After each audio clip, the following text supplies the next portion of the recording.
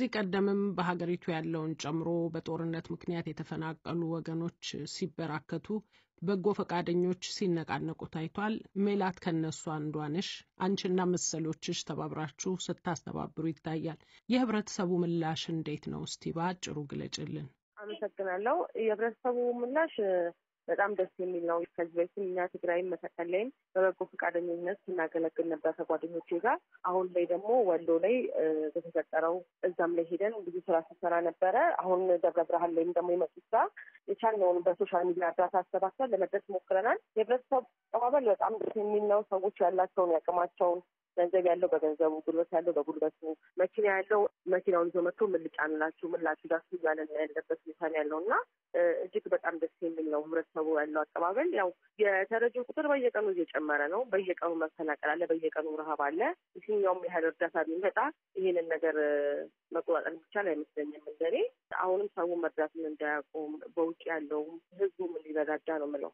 መልካም እንግዲህ ከውጭ ሆነው እርዳታ ከሚያስተባብሩ ወገኖች ደግሞ አንዱ ጋዜጠኛ ደረጀ ነህ። ወደ ተለያዩ አካባቢዎችም ተጉዘህ ለማድረስ ጥረት አድርገሃልና እስኪ ያስተዋልከውን ባጭሩ አካፍለን። አደው ሸዋዬ እንግዲህ እንዳልሽው ከውጭ ከሚገኙ የዜና ቲዩብ ወይም የሚዲያ ቤተሰቦች እና ከሌሎች ኢትዮጵያን በማሰባሰብ ለሁለተኛ ጊዜ አሁን መጥቻለሁ። በመጀመሪያው ዙር ከአራት ነጥብ ሰባት ሚሊዮን ብር በላይ አሁን ደግሞ ወደ ዘጠኝ ሚሊዮን የሚጠጋ ገንዘብ በማሰባሰብ ነው ይዤ የመጣሁት። እንግዲህ በአሁኑ ሰዓት የጸጥታ ሁኔታቸው አስቸጋሪ ሆኖ ከማንገባባቸው ሁኔታ ባላውቅም፣ ነገር ግን በተንቀሳቀስንባቸው ሁኔታዎች ጥሩ ነገር እየተመለከቱት አለ። ጥሩ ነው የምለው ለምሳሌ በደብረ ብርሃን እና በተለያዩ ቦታዎች ያለ ሁኔታ በቂ ሄዳለ ጥሩ ነው። እዛ አካባቢ ያሉ ተፈናቃዮች የነገሩን ነገር የምግብ መሰልቸት ነው እንጂ የራብ ነገርን አልነገሩንም። ነገር ግን ቡና ይጠጡ ነበር፣ ስኳር፣ ቡና፣ እንደገና የጤፍ እንጀራ ያምራቸዋል። እንደዚህ እንደዚህ አይነት ነገር ነግረውናል። በተረፈ አንዳንድ ነገሮች እንደ ገላ ሳሙና መታጠቢያ ካልሆነ በስተቀር የረሃብ ነገር የለም። በእያንዳንዳቸው ክፍል ገብተን እንደተመለከት ነው በቁጥራቸው ልክ እሽግ ካርቶን ብስኩቶችን እንመለከታለን። መጋዘናቸው ሙሉ ነው። በአፋር ክልል ግን ስታዘብ ደግሞ ከዚህ የተለየ ነው። በደንብ አልታዩም። እንደውም ከፍ ያለ ድጋፍ ስታደርግ ግን አንተ የመጀመሪያውን እና ኢሳት ጋር በመሆን ያደረግላቸው እናንተ ናቸው የመጀመሪያዎቹ የሚል ነው የሰጡን። በተለይ ከኤሊ ውሃ ከሚባለው ስፍራ ራቅ ብለሽ ወደ ገጠር ገብተሻሉ። በርካታ ተፈናቃዮች አሉ። ዛሬ ራሱ እየደወሉ ነበር የሚያጥራቸውን ነገር። እዛ አካባቢ ያሉ ተፈናቃዮች በደንብ አልታዩም በመንግስትም በኩል እንደውም አሁን በውይይታችን ላይ የአደጋ ስጋት ኮሚሽኑ ህዝብ ግንኙነት መኖራቸው ጥሩ ነው እና አፋር ክልል አካባቢ ያሉትን ትኩረት ይሰጣቸው የሚልም ሀሳብ አለ። በተረፈ ግን በአንዳንድ ቦታዎች ላይ ስመለከት ጥሩ እህል እየቀረበ እንደሆን ታዝቤያለሁ። እኛ በምናደርግላቸው ድጋፍ ምስጋናቸው በጣም ትልቅ ነው። በአሁኑ ሰዓት በውጭ ያለው ኢትዮጵያዊ ከመቼውም ጊዜ በላይ ለሀገሩ ለወገኖቹ መቆሙ እንዳስደሰታቸው ገልጸውልኛል።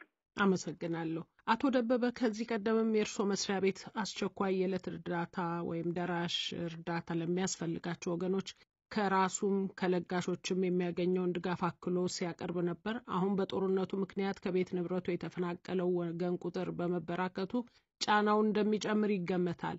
ለመሆኑ ከውጭ ለጋሽ ድርጅቶች የሚቀርበው ድጋፍ በምን ደረጃ ላይ ይገኛል?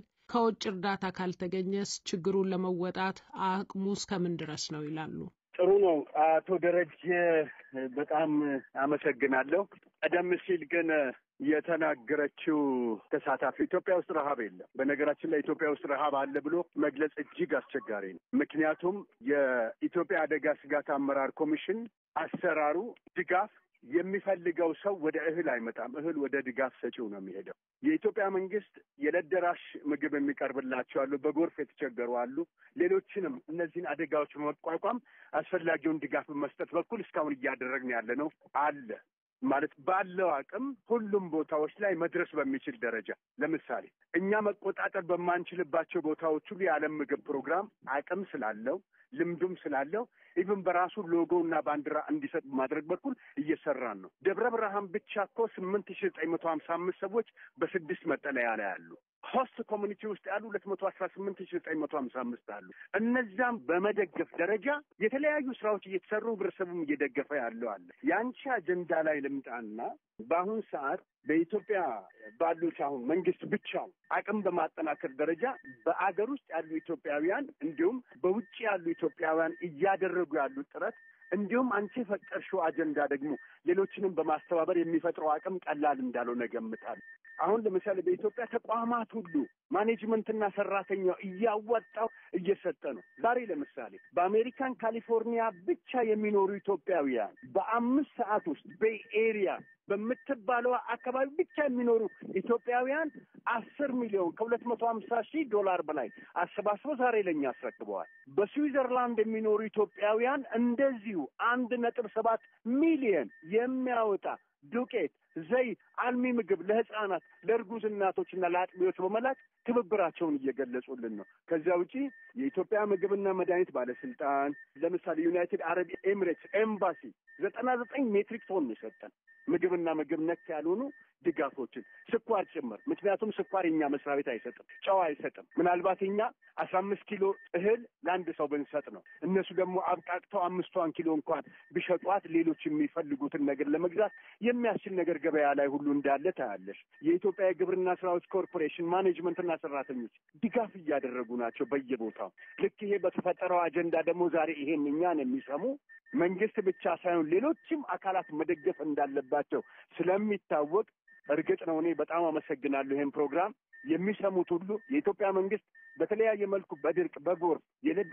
ምግብ የሚቀርብላቸው ይሄ ደግሞ ግጭቱ ተጨምሮ በርካታ ኢትዮጵያውያን ውጭ ያሉ አሉ። እነዚህም በመደገፍ ደረጃ የማስተባበር አቅሙም ከፍተኛ ስለሆነ በዚህ መልኩ ኢትዮጵያውያን ሊረዳዱ ይገባል የሚል የራሴ የሆነ አቋምም አለኝ። ይህንም ሁሉም ይረዳሉም ብዬ የማስባለሁ። መልካም እንግዲህ ለማንሳት ሞክሬ ነበር። ከውጭ ለጋሽ ድርጅቶች የሚቀርብ ድጋፍ ምን ደረጃ ላይ ይገኛል? ከውጭ እርዳታ ካልተገኘስ ችግሩን ለመወጣት አቅም አለው የሚለውን አጠቃለው በአጭሩ ይግለጹ። ልመልስ። እሺ።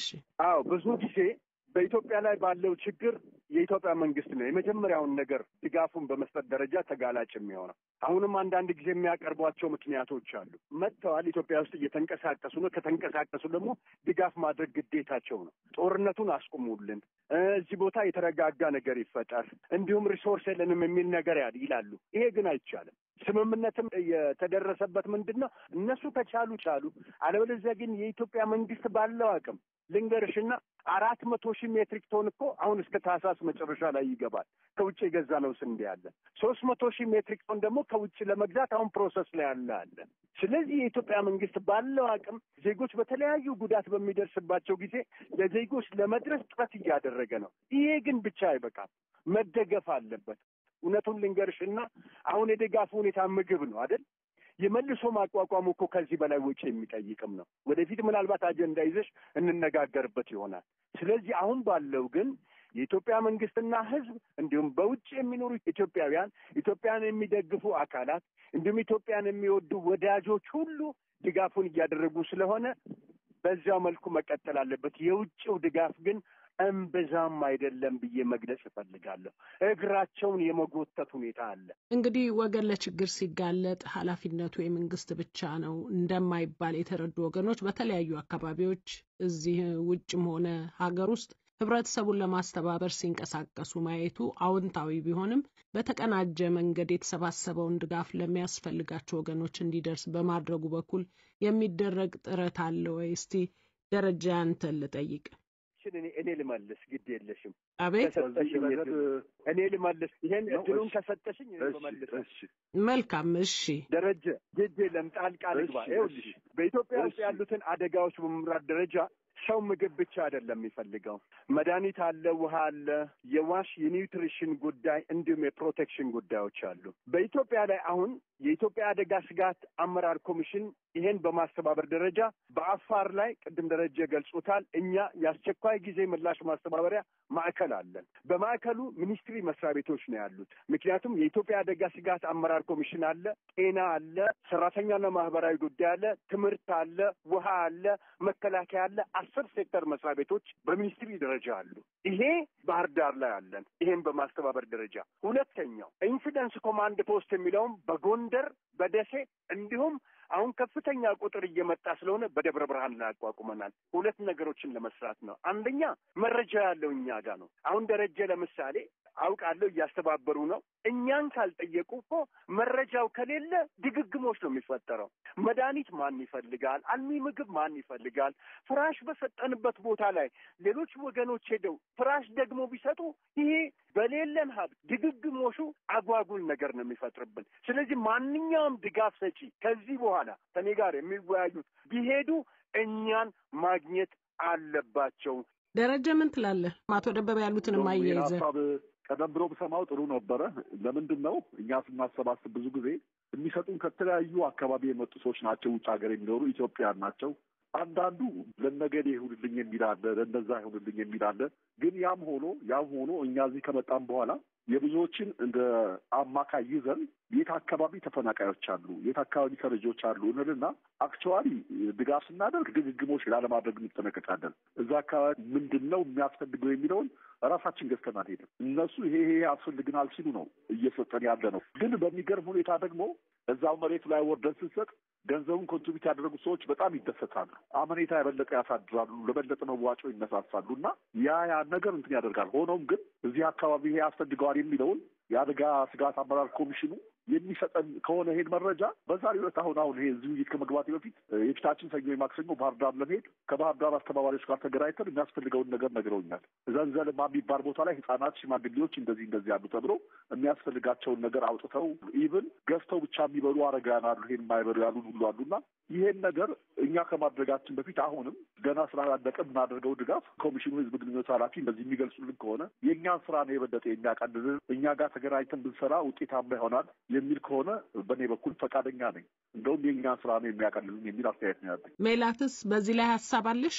አዎ እኔ ያለኝ ሀሳብ ምንድን ነው ደረጀ እንዳለው እኛ እንግዲህ በ social media ነው የምንሰበስበው።